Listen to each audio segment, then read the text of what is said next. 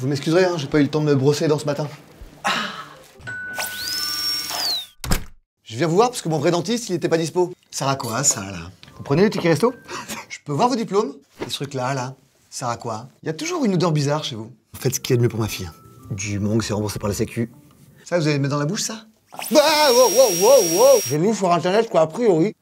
Non, ça, j'ai plus mal. Voilà, merci beaucoup Rendez-vous samedi prochain midi. Je vous laisse euh, choisir le resto. Eh, j'imagine que vous jouez au golf Va Ah non, c'est moi. Oui Oh, et vous avez euh, une brosse à dents gratos Et du dentifrice euh, gratos Oh, et ça, c'est gratos? Je vous déteste. Je vous adore. Bonjour, j'ai rendez-vous à 14h. Ouais, il est 17h. Du coup, si on pouvait faire vite. Moi, je pourrais pas passer mes journées avec ma tête dans la bouche des gens. Bonjour, j'ai rendez-vous à mardi. Ouais, on est jeudi. C'est pour ça, si on pouvait faire vite. J'aimerais avoir les mêmes dents que Brad Pitt. C'est possible ou pas?